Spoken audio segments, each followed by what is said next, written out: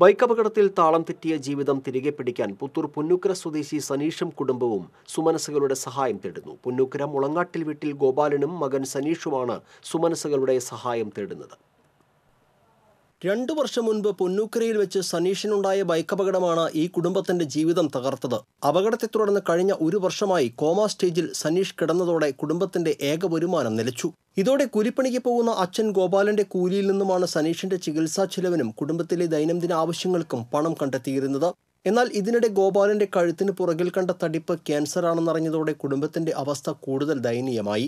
ഇതോടെ ഗോപാലനും ജോലിക്ക് പോകാൻ കഴിയാത്ത അവസ്ഥയായി. ഗോപാലന്റെ അമ്മ സരളയും സനീഷിന്റെ ഭാര്യ രേഷ്മയും എട്ടും മൂന്നും ഒന്നും വയസ്സുള്ള കുഞ്ഞുങ്ങളും ഇനി എന്ത് ചെയ്യണമെന്നറിയാത്ത അവസ്ഥയിലാണ്.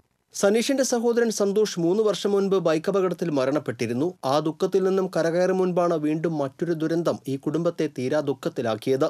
ഇവരെ സഹായിക്കാൻ സുമനസ്സുകൾ കനിയേണ്ടതുണ്ട്. ബാങ്ക് ഓഫ് ഇന്ത്യയുടെ പൊന്നൂക്കര ശാഖയിൽ എട്ട് അഞ്ച് പൂജ്യം ഒൻപത് ഒന്ന് പൂജ്യം രണ്ട് ഒന്ന് പൂജ്യം പൂജ്യം പൂജ്യം പൂജ്യം പൂജ്യം പൂജ്യം ഏഴ് എന്ന അക്കൗണ്ട് നമ്പറിലേക്ക് സഹായങ്ങൾ അയക്കാവുന്നതാണ് ടി സി വി പുതുക്കാട്.